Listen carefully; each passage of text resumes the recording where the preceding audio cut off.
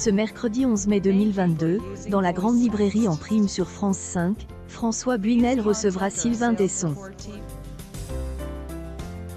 Elle, émission sera entièrement consacrée à elle, écrivain, à elle, occasion de la sortie de son livre, I Noir, texte et dessin, I, aux éditions Albin Michel.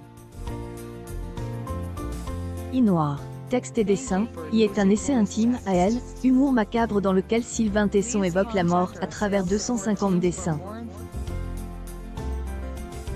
Un ouvrage complète par une anthologie de textes littéraires et philosophiques. Pour rappel, en 2014, elle, auteur affrole La mort en chute ondée, une facade de plus de 8 meters. Au cours de Elle, émission, François Buinel reviendra également sur son parcours, ses aventures et ses livres. Au cours de sa carrière, Sylvain Tesson a obtenu plusieurs prix comme le prix Medicis pour son essai I dans les forêts de Sibérie, I, aux éditions Gallimard ou encore le prix Renaudot pour I la panthère des neiges, I. Elle, écrivain est un aventurier ayant déjà fait le tour du monde à vélo, traverse elle, Himalaya à pied ou encore parcourir elle, Asie centrale à cheval.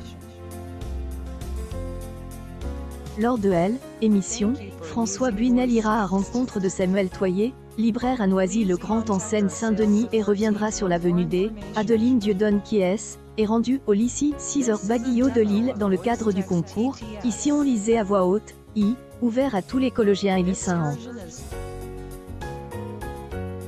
La précédente édition, diffusée le mercredi 4 mai, avec Annie Ernaux comme invitee spécial, a réuni, entre 21h et 22h33, 299 000 téléspectateurs, soit 1,4 part de marche sur les 4 ans et plus.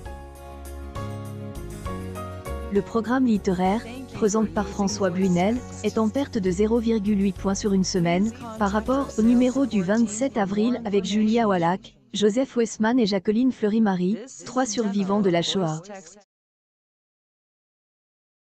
Grande librairie et à retrouver ce mercredi 11 mai 2022 dès 21h sur France 5.